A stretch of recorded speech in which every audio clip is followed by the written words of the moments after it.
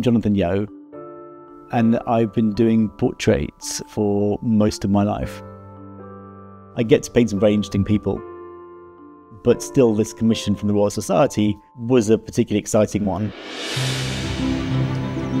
The South American rainforest. When Sir David's series Life on Earth came out, I was about 10 years old at school and it was a complete game changer. You know, suddenly you had the, the, the kind of stuff you were learning at school came alive. There are some four million different kinds of animals and plants in the world. This is the story of how a few of them came to be as they are. It's rather lovely that actually the same excitement I felt and I remember from learning from him hasn't diminished at all. If anything, it's increased. There's some people who turn out to be quite different from their public image, you know, and sometimes in a good way, sometimes in a bad way. But that's not the case with him. He's very much what we've seen of him and what I imagined him to be was very much who he is. He's amazing company. Still has that sort of journalist's ability to recall details of stories many years later. It can be a bit distracting because you want to listen to what he's saying, but you're trying to do two things at once.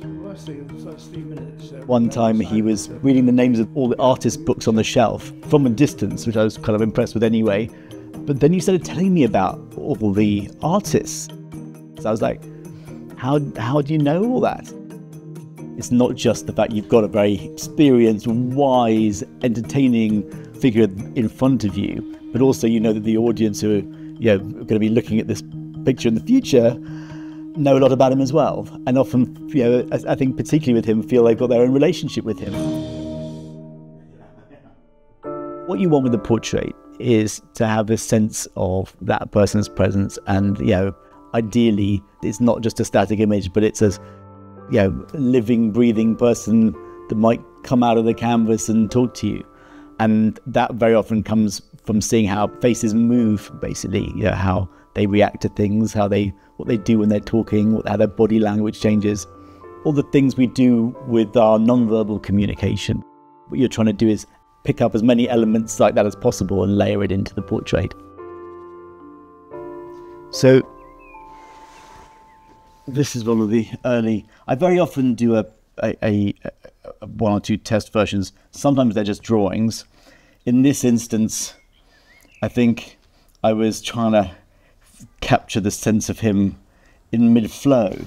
And I, I, think I realized kind of quickly enough that it was a bit too much of a fleeting moment to be uh, to work as a final picture because um, the final portrait you want something that's gonna you're gonna want to carry on looking at and that feels like it might be him actually sitting there in front of you.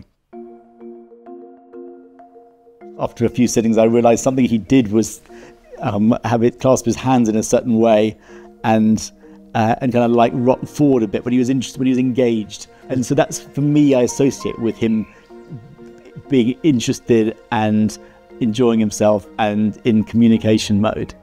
It gives it a nice sort of tension. You've got a bit of foreground and background, but you have this above all this sense that he's, you know, he might be kind of kind of coming forward even more to sort of tell you something that he's he's excited about, or that he's he's listening to something that you're saying very intently.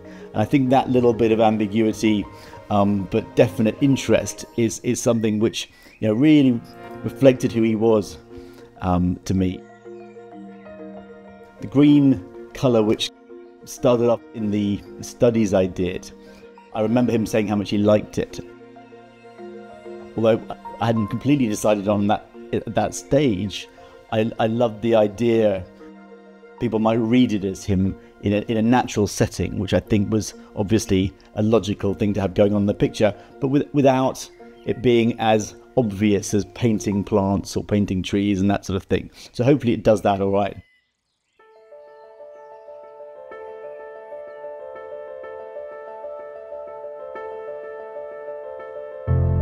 He professes a slight confusion about why he is included amongst all these great scientists it seems very obvious to me that the reason is that actually, especially at the moment, the, you know, there's such an importance in not just understanding the science but communicating it. And it's hard to imagine anyone in history who's done more to communicate the importance of the natural world and really to infuse the next generation with that fascination and love that he has at such an important time in human evolution.